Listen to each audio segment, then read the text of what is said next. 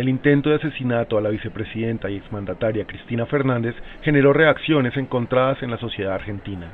Fui a un bar a este, distenderme un poco y mientras eh, cenaba empecé a mirar el televisor y vi ese revólver sobre el cual hacían como un círculo rojo. No sabría decirte si eso tiene que ver con una falla de la custodia, pero lo cierto es que sí estaba muy expuesta, muy cerca de la gente, quizás es su estilo.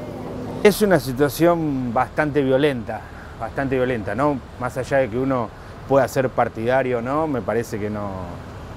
Está mal, está mal, está mal.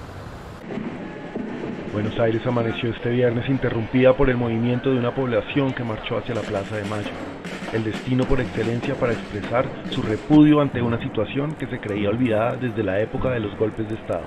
Vine a pisar el suelo donde está esa mujer, que es historia, y ella salió y le gritamos y le gritamos y se emocionó y se vino y le pude agarrar las manos y puso las manos, se las besé y yo caí, que pude besarle las manos a Cristina y eso es algo que quizás hoy no hubiera podido estar viviendo.